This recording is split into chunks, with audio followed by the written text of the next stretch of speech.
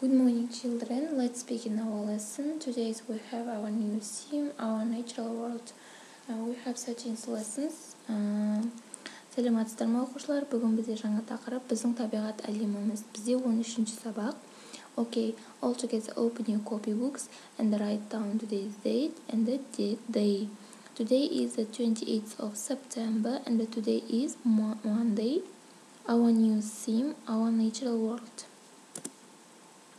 we have learning objectives uh, today we are doing um, two exercises and then there are the learning numbers uh, бүгін бізде балалар екі жаттығу бар орындайтын және солардың мақсатын бізге сан түрінде берген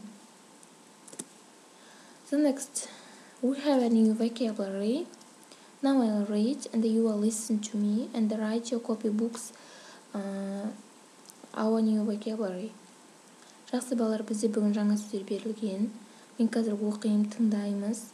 Және осыны дәптерге көшіп жазамыз. All together listen to me.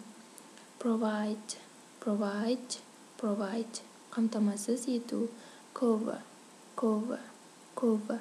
Мұқаба home home home.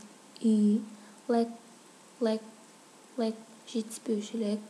Shelter shelter shelter баспана areas areas areas аудандар drop drop drop түсіру insects insects insects жәндіктер. Exercise 2 on page 21 бала 21 бетте екінші жаттығуды орындаймыз. Бұл жаттығуда көп нүктенің орнына манағы бізде сөздікте берілген сөздерді қойып шығамыз мағынасына қарай.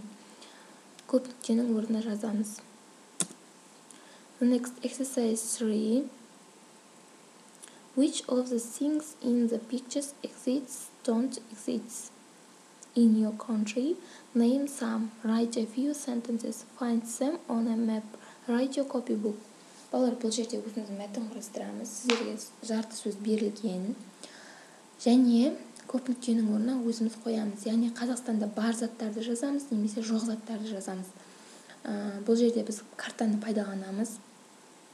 Find them on a map деп тұр картадан тап деп тұр. Мына жерде біріншісін қараймыз. I live in Kazakhstan. Мен қазақстанда тұрамын. In my country there are rivers. Менің елімде өзендер бар. Ә, ең ұзын өзеннің атауы қандай? Соны жазасыз. Сонымен қатар ормандар бар. Ормандардың қандай түрлері бар соларды жазып шығасыздар. Okay the lesson is over. Thank you for your attention. Goodbye.